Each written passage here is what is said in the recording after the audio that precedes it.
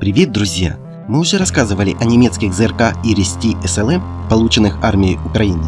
Видео о них есть на канале.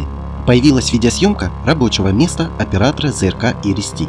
Комплекс ЗРК IRIS-T представляет собой нечто среднее между российскими ЗРК БУК-М3 и ЗРК ТОР.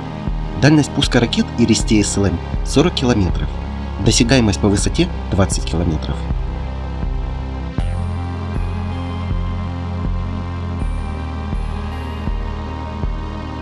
На этом на сегодня все. Друзья, спасибо за просмотр и помощь каналу. Мы осветим все.